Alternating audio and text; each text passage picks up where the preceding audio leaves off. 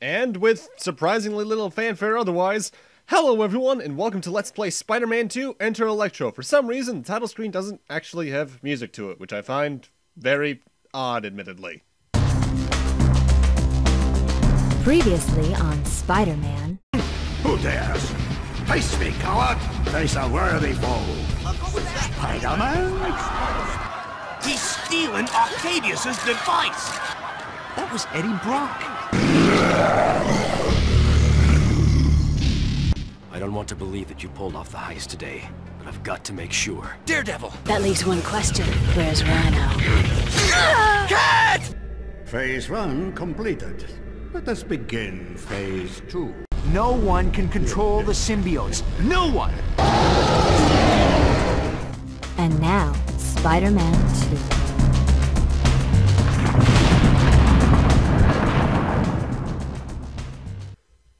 So if you can't tell by that previously on segment there, this is a direct sequel to that one Spider-Man game on PlayStation 1 and a couple other systems that I played about two, three years ago now or so. And that's also immediately obvious just by the fact that the menu is the exact same. You got some training options and all the gallery stuff you can access from the start, but there's nothing really defined there. So for right now, we're just going to start a new game. I'm going to be playing on normal mode just because I find it to be the best mode to play on overall. And I'd rather not play on hard mode overall. Easy mode is what I'd recommend for first timers on this game, though, just because this game has some problems.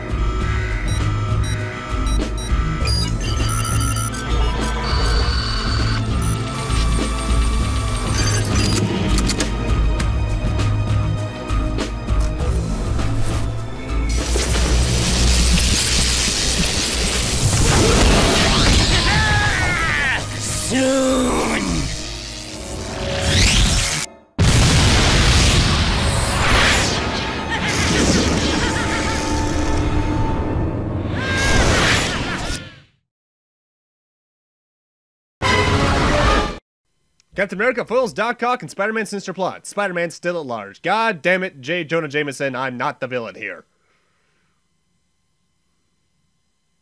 Also, loads loading screens will be edited out starting from part two onwards or so.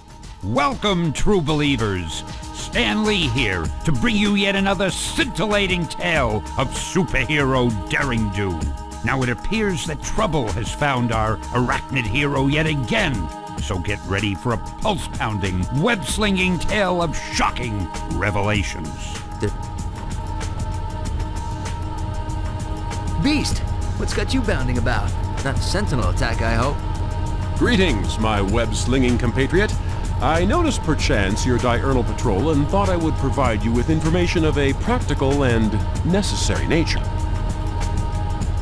Thanks for the show of interest, Beast. But I've been doing this for a while now. I think I'm okay. Indeed. We shall see. Would you mind telling me what this is? That's my trusty spider compass. It shows me where to go when I'm out and about. Hmm. I do believe you are correct, sir. Since you're so smart, why don't you try following me? And the tutorial mission begins. Though overall, the controls are the exact same from Spider-Man 1. R2 to web swing, triangle is in general your webbing, and pressing directional buttons in, in tandem with your webbing can cause other effects as well. Pretty good, Webhead. Now I've seen these all over the city. This gives me more web. And similarly to the first Spider-Man game, There's still that weird audio issue. At the end of some voice clips, the audio seems to speed up and distort all at once, and I still do not know what's causing that. I've even tried playing a legitimate disc of this on my PC to try and make it work, but it does the exact same thing. I wonder if they rent or own. Spider sense tingling. Haha, they brought the Fantastic Four Easter egg back. That's nice. And that Spider Sense, there's actually a bit of a thing that's not supposed to happen until I get to this dude here. This guy looks like trouble. How do you think we should deal with him? Using square and circle, I can punch and kick. And pressing triangle, I can shoot my web. Like with the first game, square is strictly for punches and circles for kicks. There's some minor combos you can do, but overall, you're just gonna end up spamming one or the other. I recommend punches over kicks, though, due to their added speed. Holding L1 will allow me to target those guys from here. And I believe this is returning from the first game. Yeah, it is. L1 targeting is back. It's inverted controls, but you can target enemies from a distance and do whatever you can with them using your webbing from a distance with that. Uh, web yank's going to be very useful here in the early game because we're on the rooftop so much, and if you pull an enemy off a rooftop, they do die. Superior performance, Spider-Man. Hmm. I'll wager you could use one of these? One of these will give me more health. By the way, I should mention, uh, Beast there is voiced by D. Bradley Baker, who is also most of the characters in this game. This game only has about four or five voice actors, most of which are returning from the first game. Rino Romano is still Spider-Man. D. Bradley Baker is almost everyone else. Daran Norris is a couple of people. Now this looks intriguing. Piece of cake. Using my L1 targeting mode, I can direct my web swing. Fascinating. Uh, exercise caution at any rate. Daran Norris is still quite a few characters, and Jennifer Hale, who I, I forget if she was in the first one or not. She's the two female characters in the game, though. You can only see two of those, one of those through the training mode. Uh, the training mode's actually the X-Men's Danger Room, and Professor Xavier and Rogue are both there. Pressing R1 allows me to zip. R1 allows you to zip line up directly to a wall. It's going to be useful coming up.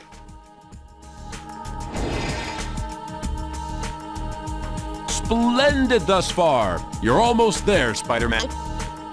Now, one thing I should note right now, we're next to a second crane right now, even though I skip it just to head over here. If you're playing on easy mode, you want to climb to the top of that girder. There's a reason. However did you become so proficient a shot with your web shooters, Spider-Man? I can cycle through targets by pressing the L2 button. I can pull them towards me by pressing web and down, or I can pick them up by pressing punch and throw them by pressing punch again. I forget if this was in the first game, it's been a bit, but you can press L2 to cycle between targets that Spider-Man's automatically targeting. In this case, I actually want to target and web yank or just outright destroy all three of these boxes. The web yanks being very particular though. In fact, I think for some reason the webbing just feels a lot more picky with when it wants to work in this game. That should come in handy. And you fight. saw it on screen for a frame there, but by destroying those three crates, we got the first comic book from the game, like in the first Spider-Man on PlayStation 1. Located throughout each levels, or well, most levels at least, are collectible comic books you can view in the gallery. Uh, there are 32 in all, however, I can only get that one right now on all difficulties. The reason I mentioned a few moments ago you want to climb onto the girder that the second crane is holding is because on easy mode, there's another comic there. I forget if they did this in the first game, but this game has difficulty exclusive comic books. And it's not like some games, uh, It appears to me that the safeguarding of the Metropolis is in capable hands. Should you ever require more assistance, feel free to pay us a visit at the Mutant Academy to run through our Danger Room training simulator. Sure, Beast, I'll do that. Thanks for the pointers. But I'll get back to the comic books for in a second. For right now, we just want to swing across here, and we'll finish off the first stage. And they gave you an option to head right to the training mode right now, which if you're new to the game, I do recommend trying out. Huh? What are they up to?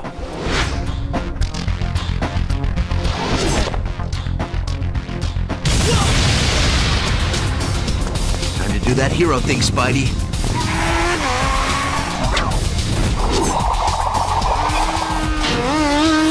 You won't get far with that Spidey tracer on him. Whoa, web freak! This level starts off with some uh, mooks to fight immediately. And I can't tell if this is just my brain making me feel like it is or not, but I feel like the enemies are a bit more aggressive in this game. However, your webbing still allows you to take them down fairly quickly. Now, going back to the comic books, it's not like some games where if, say, various collectibles unlock on higher difficulties, they're all available if you just play on hard mode from the start. If a comic book's available on easy mode, it's only available on easy mode. Same with kid mode, normal mode, and hard mode. There are a select few that are available on all difficulties, and I will be grabbing those along the way, but for this playthrough, I'm only grabbing the ones on normal and e and all difficulty availabilities. I will be mentioning where all the others are, but uh, I won't be able to collect them because that requires playing through the game four times, and even though I like this game enough, not enough to do that in a row. And I'll talk about the comic books and which ones they are, like uh, in the gallery uh, in a moment, because we got another little cutscene here when we get down to this little... A setup! Huh. How original. All of you guys against me. You should have called... And time for more enemy rushes. In the first level, the two comic books you can get, the first one on the girder is Spectacular Spider-Man number 197, whereas the one we got in the stage itself is Ultimate Spider-Man number 1's white cover version. I forget if you need to come over here. Actually, no, wait, yeah, you do. The gimmick with this stage is that you need to be, take out all of the uh, enemies in order to progress. Now, I forget which one it's under, but in kid mode in this stage, underneath one of these trash cans, I want to say it's one I've already picked up, there is another comic book for you. And I believe that's Web of Spider-Man number 100. Now, oh, another thing really quick. Uh, there's a there's a basketball up here, and there's a basketball hoop down there. You can pick this up like anything else in the game. And if you actually throw it and get it into the hoop, a health cartridge appears. It's surprisingly hard to do. Well, actually, no, it's uh, unsurprisingly given this game's controls, it's hard to do. I don't recommend going for it because you get, I believe, no, you get a health restoration at the end of every stage. Your webbing is consistent between stages, though.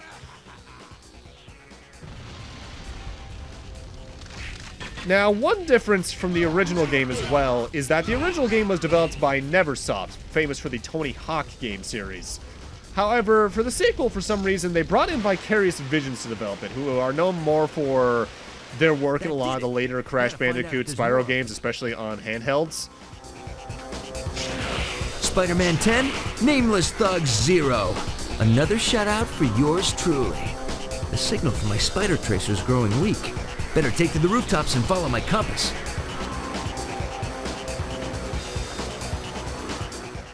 For the most part, Vicarious Visions did a good job in capturing the exact same energy and such of the original game.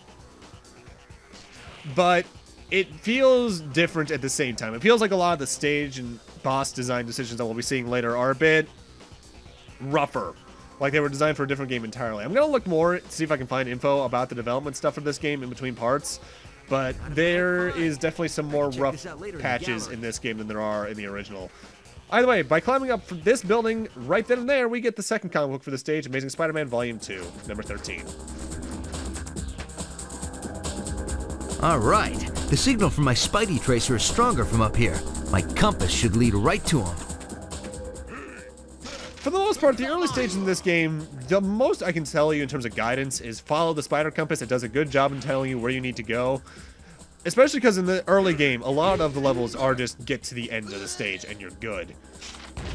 Although I recommend in any rooftop stages just trying to knock enemies off the rooftop with a jump kick or with kicks in general just because that's an instant kill to them all the same and then you don't have to deal with them for as long. Especially, it's especially helpful if there's a couple of them right next to each other. If I take out that thug, it'll stop the machine gun. I forget if something like this was in the original game, but new to this game if it isn't, is little battlements that some enemies can be next to and use as weapons, for instance machine guns. If you take care of the enemy that's using it though, the machine gun will not fire on you. There's a couple more things like that throughout the game, but eventually they end up becoming independent with, uh, and by that I mean they don't need an enemy behind them to be able to be used. And that's where the game really starts to get annoying. Now, you're going to want to keep this bridge in mind for later. I'll be talking about that more in a couple of moments. Now, my experience with Spider-Man 2 is quite a bit double less down. than Spider-Man 1. While Spider-Man 1, I had some amounts of play in my childhood thanks to my friend Paul. Uh, Spider-Man 2, he did not own. In fact, the first time I played this was maybe three or four years after we played this a lot, uh, the first one a lot. Which even then, that maybe puts that around 2007 or so, maybe. It's a game I have a lot less experience with. And it makes me wonder if that's why I find this game to be a bit harder than the first one to begin with. But I think there's also some definite issues on the game's parts when it comes to that as well. Oh, that poor dude. A lot of my strategies you're going to be seeing in the levels require less use of webbing. Because I feel like uh, in Spider-Man 1, webbing definitely could be used up pretty quickly depending on what abilities you're using. Don't get me wrong. But I feel like due to the amount of enemies in this in this game in particular compared to the first one, that your webbing feels like it lasts even less time. In particular, you're going to see me mostly trying to use uh, web yanks more than anything else throughout the early portions of the game. And impact webbing, which is up in the web button. Though I say it's up in the web button, it's closer to being both buttons at once, but it's also very picky about when it wants to work, particularly with the web yank. Uh, very often you'll see me try to yank something and then maybe rotate backwards. Uh, you'll see me move forward and then just use the webbing instead of using the web and the impact web. It's picky. And it feels more picky than the first game, but I can't tell if that's my mind here. imagining it. Either way, at this point, the stage has a new gimmick for us. Uh, we have to take care of the three machine guns on the surrounding roofs. If you don't do that, They're bent on you can't progress. that motorcycle. Gotta take I think you can just make do with taking care of the enemies controlling the machine guns instead of just controlling the machine, uh, destroying the machine guns outright. But I decide to opt for doing both.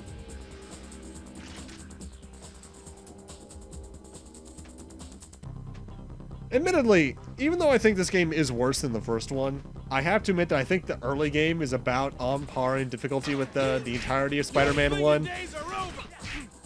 I think some of the enemies have a bit more range than they probably should. For instance, I think that machine gun shouldn't be able to shoot me until I'm swinging towards it. But at the same time, it's a machine gun. Come on. I don't remember if the soundtrack was done by the same person, Tommy Tallarico, as the uh, same person as the first one, Tommy Tallarico. Rather, let's get that sentence out in the correct order. But if it is, it's definitely the same kind of stuff he did for the first one.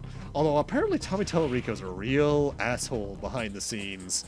Uh, so is uh, oh I forget the, uh, what, what game was it? Uh, Toe Jam? No, not Toe Jam Earl. Uh, no, no. Woo! That's all of them. Gotta find that motorcycle. Woo! That's all of them. Earthworm Jim, that's what it was. The guy behind Earthworm Jim is apparently a real asshole too. Now at this point, we can head to one of the next buildings just to finish the stage off. However, I'm backtracking a little bit just to show off one little thing. You may have noticed earlier in the stage there was a set piece of a bridge. On hard mode, after you've taken out the three machine guns, if you head back there, you're going to find a comic book. I forget exactly where it is on the bridge, if it's on like one of the little struts, if it's on one of the little pieces at the end of it, either way. All I know is that it's Amazing Spider-Man Volume 2, number 29. Usually I would cut out the trek to it, but I just wanted to make sure you could tell how much backtracking you'd have to do when it's back and forth. With that said, though, I am going to be cutting backwards. And with the three machine guns out of the way all the same, though, that's more or less the stage. Uh, we're going to have to swing over one more building, but once we reach a little, sh uh, not shed, warehouse-looking area, we are done with it. Oh, I guess there's this one more enemy, but uh, not really worth considering. Either way, with that, I'm just going to need to end this off here. Thank you guys for watching, and in part two, we'll be heading into stage four. See you guys then.